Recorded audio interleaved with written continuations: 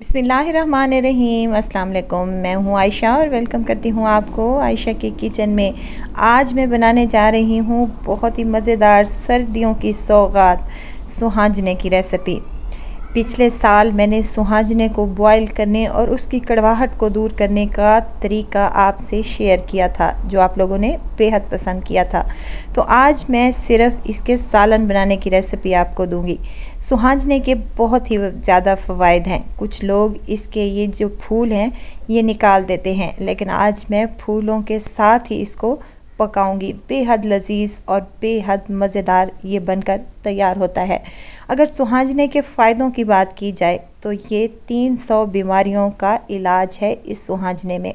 सुहाजने के पत्ते यानी कि मोरीगा बहुत ही ज़बरदस्त किस्म का एक टॉनिक है। ये जोड़ों के दर्द पट्ठों के दर्द को कम करता है और ये हाई ब्लड प्रेशर को कंट्रोल करता है। अगर इसके फ़ायदों की बात की जाए तो पूरी एक वीडियो लग जाएगी। तो यहाँ पर मैंने ले लिया है तकरीबन एक किलो के करीब मेरे पास सुहाजना है, जिसको मैंने अच्छे से साफ़ कर लिया है। डंठल वगैरह जो होते हैं, उनको निकाल दें और सबसे पहले तो इसको वाश कर लेना है अच्छे तरीके से। और तीन पानी में इसको हमने बॉईल करना है, यानी कि एक पानी को हम निकाल देंगे, दूसरा पानी डालेंगे और फिर तीसरा पानी डालकर इसको अच्छे तरीके से बॉईल करेंगे। यहाँ पर मेरे पास बॉयल शुदा सुहाजना आ चुका है और हमने इसकी पिनियाँ तैयार कर ली हैं। देखें कुछ इस तरीके से।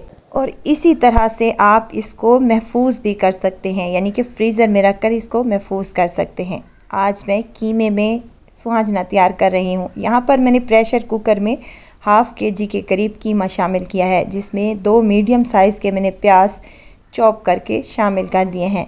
तीन टमाटर है मेरे पास, जिसको मैंने दरमियान से कट कर कर यहाँ शामिल कर दिया है। टॉपिंग उतार दें और इसको कट करते जाएँ। चाहें तो इसको छोटे छोटे पीसेस में भी कट कर सकते हैं।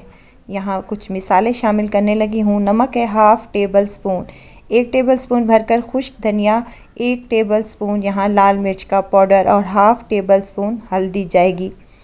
क्योंकि सुहांजने में कोई भी जायका नहीं होता। तो इसलिए इसमें थोड़े मिर्च मिसाले ज़्यादा जाएँगे। एक कप, यानी कि एक गिलास के करीब मैंने इसमें पानी शामिल किया है और कुकर का कवर लगा देंगे और इसको पकने के लिए छोड़ देंगे। तकरीबन 15 मिनट तक हमने इसको कुक कर लिया है।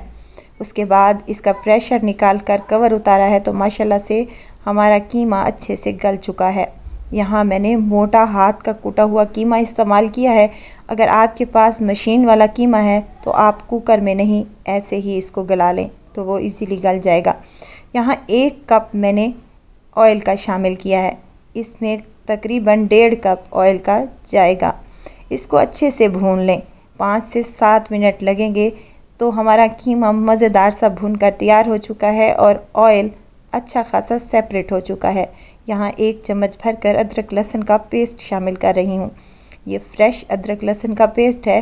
कोशिश करें कि फ़्रेश ही डालें तो इससे सुहाजने का टेस्ट और ज़्यादा बढ़ेगा। मिक्स कर लें और चार से पाँच मिनट तक मज़ीद इसको भून लें। हाफ़ टेबल स्पून कुटा हुआ सफ़ेद ज़ीरा और एक टेबल स्पून यहाँ पर मैं शामिल कर रही हूँ काली मिर्च का पाउडर। मिक्स कर लें और दो से तीन मिनट तक मज़ीद इसको भून लें ताकि काली मिर्च और सफ़ेद ज़ीरे का कच्चापन दूर हो सके। हरी मिर्चें हैं मेरे पास तीन से चार अदद जिसके मैंने डंडी समेत ही शामिल कर दी हैं। आप चाहें तो इनको काट कर भी शामिल कर सकते हैं। वीडियो स्टेज पर अगर आपको ज़रा सी भी अच्छी लग रही है तो लाइक करें, सब्सक्राइब करें और साथ में बेल आइकन के बटन को भी ज़रूर प्रेस कर दिया करें, ताकि मेरी हर नई आने वाली वीडियो आप तक पहुँचती रहे। अब यहाँ पर जो सुहाजना हमने पिनियाँ बना कर रखी थी उनको इसी में शामिल कर दें और इसको मज़ीद पाँच से सात मिनट तक भून लें। साथ के साथ यहाँ पर मैं दही का इस्तेमाल कर रही हूँ। इसमें दही ज़्यादा मकदार में जाएगी। एक कप भर कर मैंने इसमें दही का शामिल किया है। कुछ लोग लस्सी का भी इस्तेमाल करते हैं। उससे ये पतला हो जाता है और पकाने में थोड़ा ज़्यादा टाइम लग जाता है। तो हमने इसको थोड़ा खट्टा सा बनाना है, इसलिए दही का इस्तेमाल ज़्यादा जाएगा। पाँच से सात मिनट तक इसको अच्छे तरीके से भून लेना है। कीमे में सुहाजना डालने के बाद हमने इसको सात से आठ मिनट तक अच्छे तरीके से भून लेना है। जितना हम सुहाजने को भूनेंगे, इसका टेस्ट और फ्लेवर उतना ही बढ़कर सामने आएगा। नमक मिर्च आप अपने टेस्ट के मुताबिक कम या ज़्यादा कर सकते हैं।